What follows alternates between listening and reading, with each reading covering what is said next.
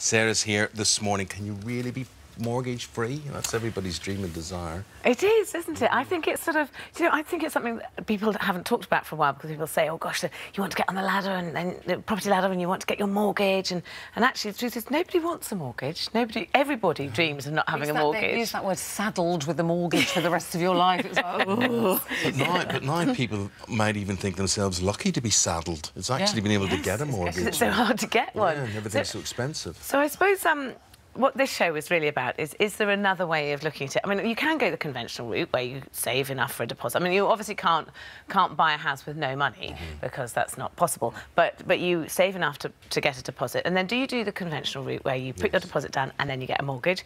Or is there another way of living Oh, would that's you come up cheaper? like, No. what, what example of...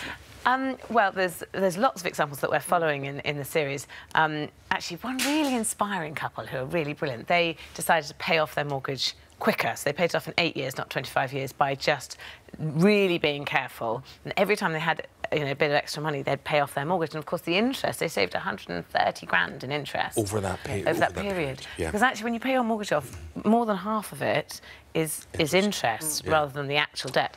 Well, Sarah, um, one of the fascinating things about you is I, I, I always I love watching you because you give this fascinating advice, fantastic advice, which no one ever accepts.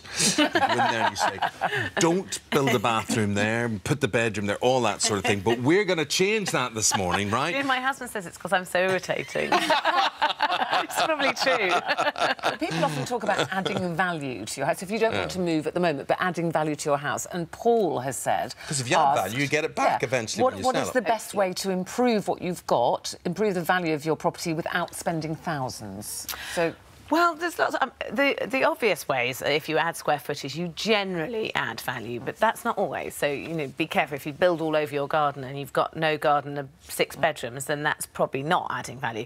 However, but adding value at a, at a low cost, a, a lot of it is to do with using every single square footed foot Yeah. that you've got. And there's a lot of waste of space inside and outside that people don't make the most of. So if you don't have a garden, but you've got windowsills, put window boxes on, you then end up with a garden-ish, mm-hmm. but without actually having Yeah. the square footage. We have waste of space in corridors, so there's sort of piles of coats that are and shoes in, in your in your hallway. Think about having clever uses of storage so that actually you make that mm. space feel bigger and you have stop and stay.